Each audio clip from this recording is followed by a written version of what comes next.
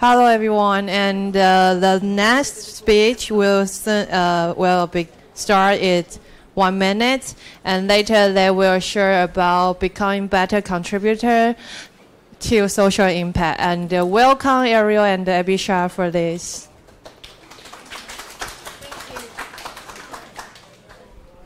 Hello. Yeah.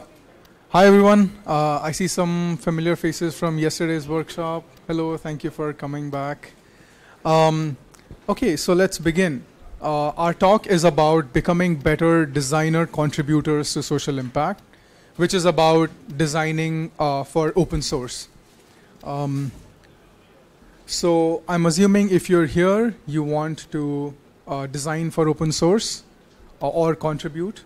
So let's do a quick um, exercise. Uh, how many of you here, by a raise of hand, are already contributing to open source? Okay, okay, cool. And how many of you have faced challenges with contributing? okay, almost all the people who raised their hands. What does design in OSS look like for you? And how does it work? I can pass this around. And, um, um, keep switching and jumping around um, in different kinds of platforms and like sending files and sending files and sending files and sending files and like and I don't even know what am I doing and and like um, finding files in, in Google Drive and I cannot find it and, and, and why why it is lost and yeah and yeah it's a very very frustrating process. So file management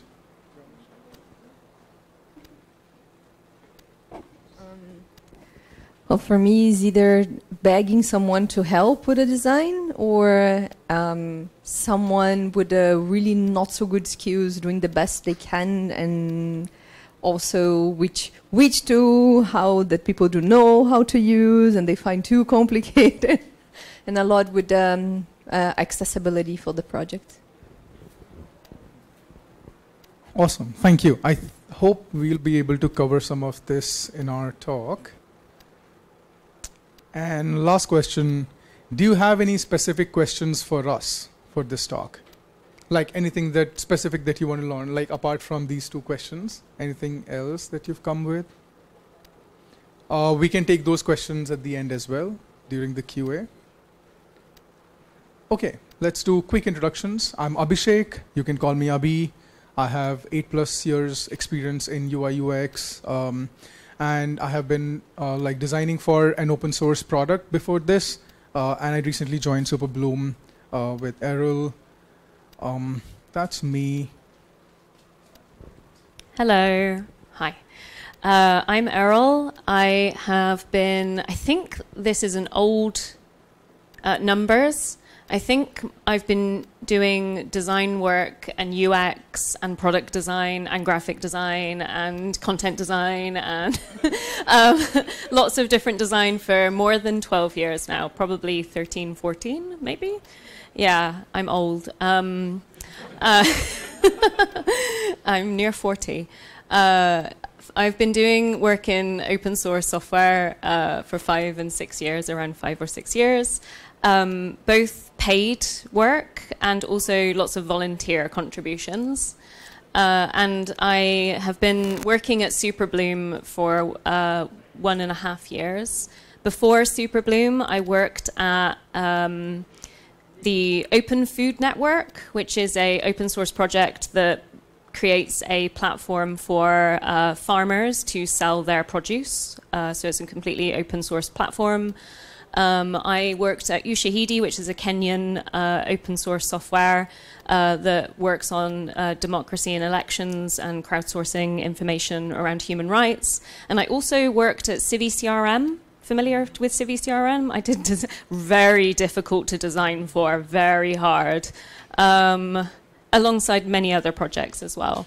Um, I am doing a PhD at Newcastle University about how design is done in uh, human rights and humanitarian open source software specifically. And Eriol is a design rockstar. Oh, okay. um, So Superbloom, where we work, uh, is really focused on how who designs, who is part of the design process, uh, and a lot of the time, technology is in history has been um, controlled by certain specific people, very few people, and very rarely the users. So Superbloom is really focused on how we make sure that people that are not often heard, um, especially in human rights cases, make sure that they have a voice in how technology is built for them, built with them, so that it's not just handed to them to use. Uh, so we do a lot of co-design. Uh, familiar with co-design processes, collaborative design processes, uh, participatory design. Familiar? Yeah, uh, participatory action research. Maybe. Okay, so we use a lot of these methodologies to make sure that people are included in the process. Uh, the kinds of work that we do, people from yesterday will find this slide familiar um, from our workshop. Uh, we design with and for high risk communities in remote and hard to reach, poorly connected regions to safely give user feedback and participate in the open source tools that they use. So these are a lot of human rights activists, journalists, um, anybody that uh, basically just doesn't get access to uh, a lot of the kinds of things that uh, people in more privileged positions will get access to. Uh, we do a lot of work for onbo- onboarding and bringing in uh, users that are not at all familiar with code. So we'll have uh, no code um, knowledge or and don't want to learn how to code because they're a journalist or they're they're they're um, doing a different kind of job. Uh, we have also done work with decentralized applications and worked in the decentralization space uh, around um, uh, those kinds of applications before, and a lot of onboarding for non-coder users into open source software. We work with a lot of funders uh, to make sure that they understand that the critical digital infrastructure that open source software is part of, design is important to that. So we want funders, people with money, to invest in design for those, those tools that are critical to digital infrastructure. Uh, and we also do a lot of work in the open source space and the design culture space to make sure that design is normal and uh, happens in open source, and also that in the design culture, open source is normal as well. Um, so yeah, that's what we do. Uh, oh. Awesome. So, um, so for our talk, we uh, like there are a lot of resources out there online that help you figure out why you should design for open source, why you should contribute, how to get started, uh, what to do, what not to do, uh, basic mistakes you can make as a beginner, and you should definitely talk to Terry, uh, uh who gave a talk just before this, for all of these topics. He's he's got a lot of info on that, along with a few links we've added here. But what we are going to talk about today is how we can become better designer contributors to open source, and some of the things that are not um, talked about or uh, you know because we focus a lot on the skills and uh, tools and processes. So let's take a look at a very high level view of an overview of what you're going to take away from this uh, talk. It's uh, when you're thinking about designing for open source, you have to also think about your users because they are the ones you are, your work is going to be used by. Right? They're the main people who are, who are going to use your work. Think about the developers because they will help you implement your ideas, um, whatever you create. Think about the assets because that is how you will communicate your ideas with all of your stakeholders, the developers, uh, whoever you're working with, your assets are your way to communicate those ideas. Uh, think about other designers because they're the people who you will be collaborating with. And uh, like when you're not around contributing for that project, they are the ones who will take it forward. Uh, think about the product and business because all of your designs are aimed towards reaching a goal. It's not an end to itself. Like we, it's not about making something look beautiful. It's about achieving a tangible goal. And somebody who's running the business or product is will will go uh, deeper into all of these. Uh, but also think about the community um, because open source community and think about um, things beyond yourself. Yeah. And then, um, so let's uh, start with users. All users are important, and everybody who you interact with, and um, for example, designers, developers, product managers, whoever you work with, they're all going to be the, your users and not just the people who use the tools, right? And uh, so the, one of the challenges with designing for open source is that you may not find it easy to connect with your users directly. You may not always have access to them. So think about those channels, uh, like communication channels, forums, where your users uh, report issues. You can get some idea about your users from those channels. And um, yeah, learning about your users means you'll have, uh, I mean, that's the main uh, way for you to take decisions as designers yourself without, um, you know, having to rely on a lot of different, uh, like that will give you agency to produce your work and, and do your design. Um, I want to actually go back to uh, about the users. I want to focus uh, for a, small amount of time on this uh, aspect because what we do a lot at Superbloom is we prioritize what user security, privacy, uh, diversity, and inclusion means. So when we think about open source, a lot, a lot of the time we think about pure openness. What if everything was open? Whereas sometimes when we're designing for tools that can be used in certain circumstances, like civic technology, uh, we need to be very, very careful with how the user feedback is being included in our tools and even how we communicate with users in issues.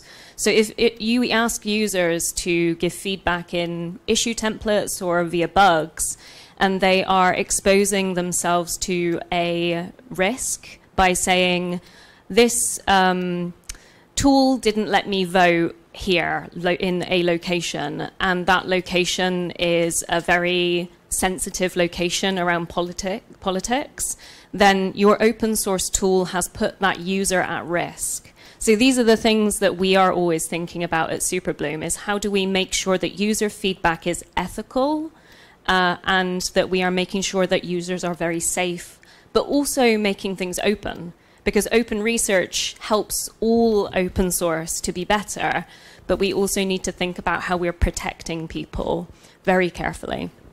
Um, a lot of the users that we work with uh, on open source tools in like the civic space and the human rights space actually are really uh, unaware. They don't know what their privacy rights are. Um, and it becomes even more confusing when you bring open source licensing, dependencies, all those complications with open source in. A lot of users will go, huh? Like, what does this mean? Uh, so, as open source designers, we need to think about how we're designing with privacy, security, and the complexities of open source uh, infrastructure as well. Uh, swipe? Oh, no, no, no. Oh, okay. No, no, no. We yeah. go back to the other one. okay, so um, some examples of how we work with users. Many of you will find user journey maps familiar. This is a method of how we. Uh, this is an example from a uh, open source tool that is about uh, helps users to understand whether their mobile device has been compromised with malware or viruses if they are traveling around the world, if they're journalists. So, this is a user journey map of how and when a user might use a tool, an open source tool, to make sure that they haven't been put at risk of certain kinds of malware. Uh, and this is mostly used by journalists or human rights activists and different people. So this helped us to understand where a product, the open source tool, was going to be used most uh, critically. Uh, and this is a example of uh, when I took a, a developer issue. So this issue is very small if you read the original issue. It's like um, build build technology, and then this is how I translate a developer issue into a user focused issue. so I describe the issue from a user point of view, uh, and then I talk about different users, what is success for users, what are our design constraints. So there's a template here if you want to translate developer issues to designer user issues. So one resource. Um, yeah. Uh, another resource that we created is uh, funded by Internews. Is this is called the a Dev's Guide to, and it's a lot of scripts and resources on how to do user testing and usability interviews uh, that are security and privacy focused. So here you can um, view a number of different uh, like advice advices and how to recruit user testers and example uh, emails and scripts uh, and also some uh, advice on how to do synthesis when you have all the user research and this was created specifically for developers that are working on privacy and security open source software. Um, we also made a game. uh, where's the game? Two seconds. Sorry, Abhishek. Right at the. This is the game that we made. Uh, and if you have a developer that you think is um, like I don't want to do user testing. I don't know what it is. They can play this game in uh, Itch and all open source, so you can change this game if you want to. And it's just you know you you click through and play, uh, and you click on the acorn. anyway, um, so where's the slides? Okay. Okay, so thinking about developers, like I said earlier, uh, they're the ones who are going to be building your ideas, and that's the reason why I've put them on number two, um, because they're really critical to your work, and um, and they, yeah, they're in a critical position to implement your work. Uh, again, in many cases, when you're working in uh, open source teams, you may not have direct interaction with um, developers as well. So make sure that when you uh, create your work, it is self-explanatory. There are all of your assumptions, considerations, everything that you have thought of is included when you're uh, sharing your work with them, right? And you can learn a lot from developers as well, especially if they have worked with other designers. And in many cases, like working with a developer is a lot more a learning experience than other beginner designers because they will tell you what is feasible, what is not, what works, what not, because there are many times technology constraints, framework constraints, and you know there's a lot goes on. Um, and um, working with developers now is a lot easier than it used to be because of tools like PenPot, Figma, that has made collaboration so so easy. Um, um yep, and Eriol can give you an example. Um, this is an example of a uh, another issue where I described the problem more clearly to a developer. Um, so again, instead of a small issue, it was how the problem was described, who we are designing for, um, and then what the describing what the user needs to do, as well as acceptance criteria further, further on. So I like to try and blend user research explanations as well as like using developer processes like acceptance criteria to communicate what needs to be developed. Um, here is a lovely comic we made. Developer team is building feature X. The design team is testing feature X. Uh, and then this is like, uh, we use this to explain like how user testing can improve. Even if you are developing, you can still design and test at the same time. Because a lot of developers were like, you have to do one and then finish, and then the next. And but no, it can happen at the same time. Um, oh, uh, we need to. It's this one.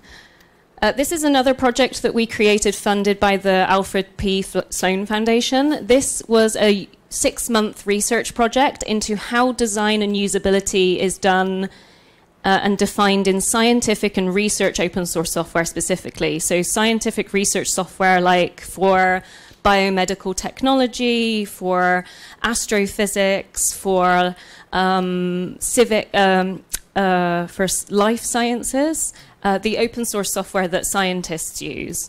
Uh, and we have uh, a lot of um, chapters, a lot of content to read about different um, understandings of like feedback and knowing your users, usability, accessibility, perceptions of design, and then a lot of different um, resources uh, curriculum for universities teaching design in science and research, uh, an assessment um, readiness for design. This is something that Abhishek made, the assessment. So this helps projects know when they're ready to start design. It's a really uh, cool resource. Okay, um, and the next thing is uh, thinking about your assets and design documentation. Uh, so basically, your design file uh, and all of your assets need to be very clearly defined. I uh, a lot of time. So basically, like treat other designers the way you would like to be treated yourself, in the in the sense that your design file should be easily accessible. I remember this one project where I was handed down uh, the file and I was like, uh, I'll have to work on this from scratch because I don't know where things are and how. So in that sense, like this is connected to the part about working um, you know about with other uh, designers so invest time in setting up your design systems uh, from early on i've after many many many projects i've realized that if you uh, like if you're using figma and if you use components design system if you do it from day one it's going to save a lot of your time not redoing those things later on so um, so yeah i mean and then uh, design documentation is also a part of your asset. So when you're working on something, make sure that you document your process, assumptions, uh, you know, considerations, thesis, and make everything easy to read and navigate. Uh, imagine that you're not around to explain your design to anybody who's using it, and then uh, imagine if they're able to understand what it is and how they can take it from there. So that's how you can test your um, designs because there's usability to the work you put out as well, right? A lot of designers don't think they should or could do documentation, but do documentation is. Uh, I love design, and then I also love documentation. It's uh, nerdy. Um, so here's an example of a design system that Abhishek created for one of our open source uh, projects called Hera. It's a Hera. Uh, so they basically it's an application uh, to help refugees uh, with their documentation, and this is where like one of the teams yesterday also did. So they basically help the te- uh, you know the refugees with the documentation, yeah, yeah. and health doc uh, reports and all of that. And it's open source. It's open source. Yeah. Cool projects to do design contributions to. Um, and here's another example of uh, di- um, uh, design system and a file for a mutual aid resilience app that I worked on uh, beginning of COVID. Uh, and also an example of how I do different design labels in re- repositories. This is how I categorize design uh, things in, in projects. Swipe? Oh, it's the swipe. Oh. Which next? So um, this is a, uh, linked in the slides, but this uh, is a really amazing resource from the Resilience app where this is onboarding for designers. All of the remote designers did an introduction, uh, and then like this is the welcome, all in a Figma file. So onboarding designer designers in the Figma files was really cool, as well as having pages for the design systems, and also a uh, history uh, history log. Uh, what's the word? What's the word for contributor log? Version version control for design in the Figma file, um, which is cool. Yes, and so um, you need to think about other designers as well, your OSS team. I know a lot of times, like uh, when you're designing for an open source project, you might find yourself as the only person, but there may be teams, there may be projects where it may be handed down, like when you're not around, you will not always be contributing to that project. So, uh, so what happens when you know you're not around and that file goes to another person? How will they read it, right? Um, and so from that perspective, design becomes sustainable. You contribute to the project sustainability if you think about like leaving that space better than you took it. Um, and so help onboard designers like uh, Eriol showed earlier. Um, be welcoming. Mentorship is also a part of how you um, contribute. Um, another point that I wanted to make was, um, yeah, I think that's pretty much um, it. You want to? Uh, the power of um, designers gathering together to contribute is really amazing. Like yesterday, the workshop uh, was a really good example, but here are other examples of workshops for open source design contributions for projects that I, I ran uh, with Ushahidi, uh, one in Berlin uh, and one in uh, Bangalore in India around crisis response. Uh, I also ran one in Taipei back in 2019 for the Open Up conference. That was very cool. Yeah. Um, oh, is this the? No, no, no. It's the video that I want to get. Yes. Okay. Um, there's a link to this video, but I documented how I onboarded designers into the Open Food Network project. So this is all of the different pipelines that I created in GitHub for design issues and how they were structured, but also the onboarding documentation for designers on how to understand the project as they came in, and also how to schedule meetings with me to be onboarded, to receive work, to get feedback. So this video it's quite long, 20 minutes, but it will explain all the ways that I onboarded uh, designers into the Open Food Network project.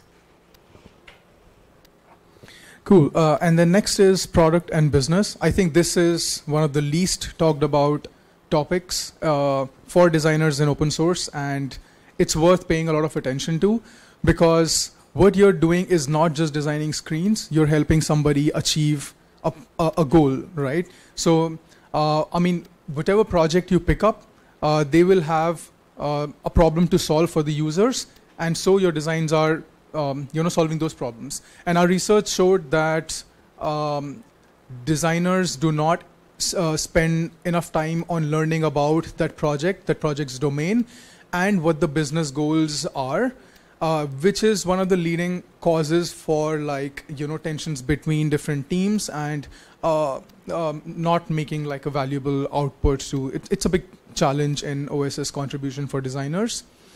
Um, and I want to leave you with this thought that uh, consider the project that you want to work with. Uh, let it be the one that you uh, want to work on for a long, long term. For example, three years, five years, say you want to work on secure uh, VPN, right? Um, VPNs or a chatbot or uh, healthcare or any domain that you want to pick, um, so that you can work on it for a few years and stay in the same space and you understand the uh, the space, so you can uh, contribute to it more effectively. But if you're just starting up, then you don't need to worry about it a whole lot. Don't think too much. Just start somewhere. I don't know if any of the developers in the room have had problems with like Hacktoberfest when like you have one contributor that goes, I fix a small issue, yay, I've contributed a typo, and then go, leave, bye bye. Um, but when designers like don't invest and tell when I'm onboarding designers when they can't tell me how long, how much time they want to be in the project for, it's very hard for me to plan a project for them to contribute like a good piece of work too, right? It's so difficult. Um, I made a really cool spreadsheet. Is that possible to make a cool spreadsheet? Um, uh, it's oh sorry Abhishek, I can't do that. Okay. So, uh, this is an open open Google spreadsheet. It is a product management tool for a feasibility of feature development and ways of scoring how technically complex different feature options are. Uh, Abhishek, can you go to like this tab? Yeah. So you can score based on complexity and you can describe the feature and then the details of the feature in each line. And then if you go here, um, the oh wait sorry back on the other um, tab if you scroll down and scroll to the side over this way there's a column for design hours developer hours qa hours documentation hours so it's a spreadsheet that kind of encapsulates feature development for it took me a long time to make thank you please use it it's cool um, you want to go back Oh, uh, sorry, one more. Um, no, just this one. Uh, Justin Flory uh, wrote a really good blog. Justin Flory wor- works at Red Hat in the Fedora project. Uh, good friend, um, used to work at UNICEF, fantastic work. Wrote a great blog post on examples of open source product roadmaps. It's really hard to do open roadmaps, but this is a good blog post. We're almost finished. Promise. Yes. Um, and for the last bit, um, it's community, thinking about the community, because um, community is the heart of uh, open source. A lot of times, like if you're getting started, you may not be able to uh, contribute or create or think of things that are beyond you. You may want to uh, think of the project as you know professional development, learning. Um, but if you are able to, then by all means, just go and um, you know uh, think uh, like if you create a design system or if you create some assets put it out there for other people to use as well. Uh, it could be like these uh, templates that Eriol showed you, you know, systems that you can use. Um, and other than that, of course, participating in community events like COSCUP, uh, exchange ideas and learn is also a way to um, be a part of the community. Yes. Uh, OpenSourceDesign.net has a forum, uh, monthly meetings, uh, and also goes to lots of conferences and has a summit. Um, we also have a jobs board. Can you to this? Uh, so this, um, I think we need to fix the Heroku thing at the moment, but you um, can find different jobs, either paid or unpaid, that need design contributions. Uh, so it's a good place to post jobs or find jobs for open source design. And we also have a podcast with over 40 episodes, so lots of designers and developers talking about design. Uh, so um, please come on the podcast and talk about design uh, with us, uh, or listen to the 40 or so episodes from different designers in open source. Uh, yeah. Oh, by the way, this is uh, the platform where I and Eriol connected and met. So, okay, and now you. Oh yeah. Oh well, the the podcast is uh, lots of different um, uh, designers talking about fonts, talking about tools, talking about uh, development processes, talking about ideation and design thinking. Loads of different um, episodes, but yeah. Uh, Um, so yes, in conclusion, um, when I mean you can apply this to any project, but if you're designing for open source, think about the users, think about developers, think about the assets, other designers, product and business, and the community. So I think these three, uh, the six uh, uh, points will help you get through and get better designers. Um, that's it. Oh, this is just what Superbloom is working on in the future. So the kinds of things that we work on if you want to contribute or know about our work. So um, challenges for designers creating uh, GDPR is um, uh, the European uh, privacy, yeah, privacy um, act. So how to create compliant cookie banners, defining transparency. uh, trusted design and um, tech policy, uh, so design within tech policy. Uh, we're also working on a lot of work to do with um, what are they called? Not they used to be called dark patterns, but that is a bad word to use now. We use deceptive design. Uh, so we're working on with um, the Web Foundation on how to design uh, around deceptive design, and lots of um, other resources, coaching and um, building secure strategies. If you want to know what we're doing, um, and I think it's just uh, yeah. I know it like we're kind of over time, but if anybody has any questions, we would have loved to have done, uh, have done this in like one hour. You can. Okay. I'm sorry. 我们有在 recording，你用麦克风。Could you get us a slide you shared today? Yeah, yeah. Uh, our slides are on Google Slides, so we can share the link. Um, where will we share the link? Is uh, we have a HackMD. the oh okay. Yeah. Ah. Okay. Okay. yeah we have our meeting notes today out for the share one. Okay. Cool. We will share the slides. Yeah.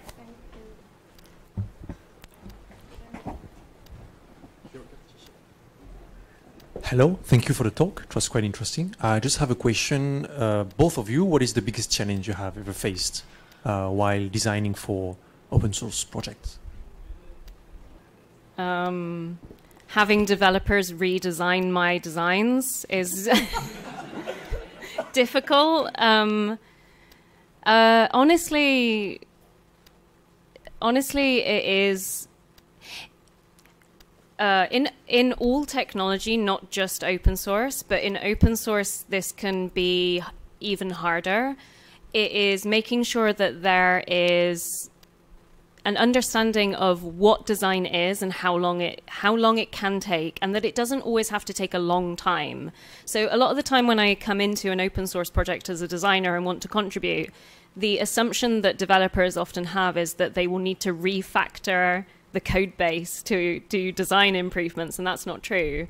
Um, they think that designers don't understand how technology works or that we're not willing to know or understand or learn and I find that that's the hardest challenge is finding the the uh, respect and the common ground to understand that we want to help as well. Uh, it's getting better. It used to be a lot bad, a lot worse, but um, those are hard conversations. Is justifying the design, uh, what's needed to do design in that space and a lot of the designers that I've mentored have also had this problem where like they contribute a new UI and the GitHub issue is 50 comments long with I don't think this is very good uh, I don't think this is very good. Um, where like the designer has done a lot of user research to anyway that's the hardest thing is the time to understand each other. Um, I mean, I don't think I have like very specific one problem, but there are a lot of you know small smaller ones like finding support for uh, the project in terms of like funding, sustaining sustaining the project. Uh, collaboration is definitely uh, one of those like, and it's not just collaboration with developers, but with product teams. Like product management is one of the really big. Uh, like, how do I figure out uh, what to build? uh, you know staying connected with the community is a part of the challenge learning from users continuously because that's how you make an effective product and it's not very easy to do in, in open source so i think it's like if you uh, if you become a part of uh, an open source product which uh, has these foundations i was lucky to be a part of such a project where uh, the community and uh, like the users and the designers developers everything everybody were working together so i was really fortunate to find such a project but those are the challenges um, Yeah, the same. I've found in a lot of open source projects, as soon as you say the word user research, no, scary users. Um, sometimes, like the Open Food Network, I it took me six months to convince the Open Food Network to do user research, um, and it made the product better, but it was very hard. I had a lot of arguments, uh, and I don't like arguing with people. it makes me it makes me cry. Thank you for the question. It was a great question. Ken? Um, unfortunately, I'm a developer. Hi. Welcome. We love you. And, and uh, uh, I wonder, uh, do you have any suggestion to that? Um, we, uh, how we co- cooperate with uh, open source designer? Uh, give, give me more tips. My one, uh, I have many tips, but my number one tip is mentor a designer. Find a designer that wants to learn about open source, become their friend. Teach them about the terminal, teach them about version control, teach them about GitHub. They will be very happy that you have like reached out to them. Uh, that's the number one. I have many developers Saptac in my life that have spent many hours with me helping me understand the parts of open source I don't understand and have become my friends, right? um, and has helped me design better for the, the tools. So, and I helped you with a logo once. You designed a logo, and I so I gave back. Yeah, I mean, I think uh, before Superbloom, I have worked all this while as a team of one designer. So everything I've learned is together with the developers. So um, I think that's one thing. we could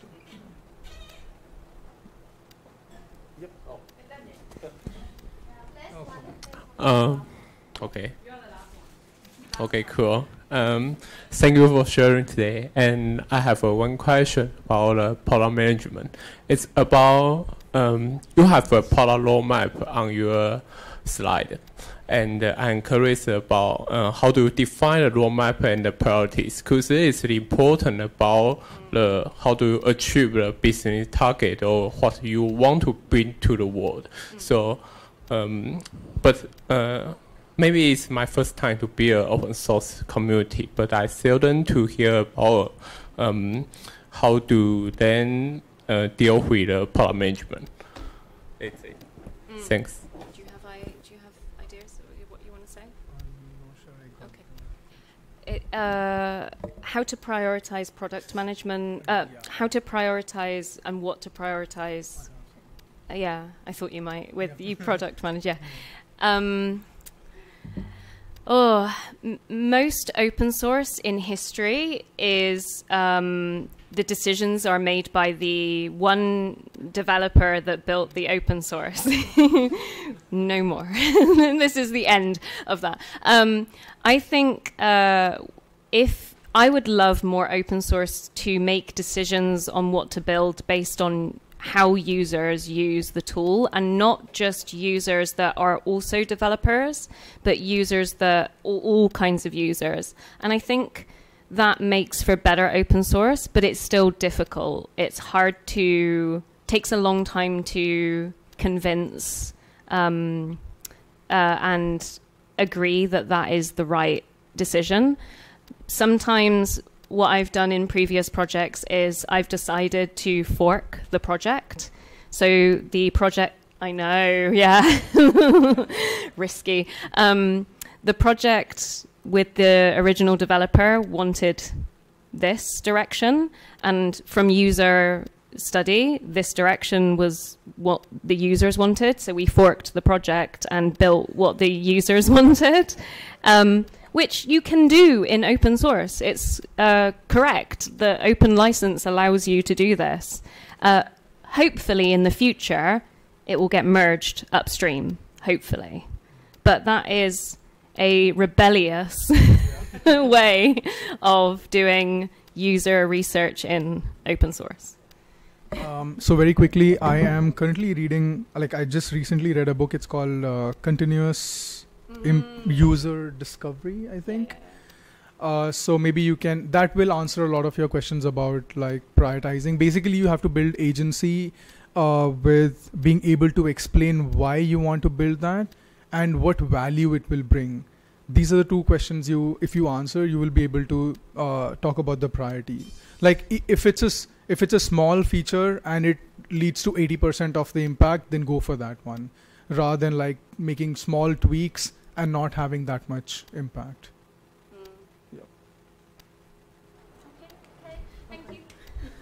Okay, thank you, Eriol and Abhishek. Share. And uh, this is our last speech. And thank you for everyone to participate in this event. And today, you are awesome. Thank you. And also, we have the QR code. If you, uh, oh, by the way, this this room was, uh, is held by WTM Woman Tent Maker, and uh, we have more uh, open design promotion or developer meetup, and US UI designer meetup. If you are interested, you can uh, scan the QR code to learn us more. Thank you.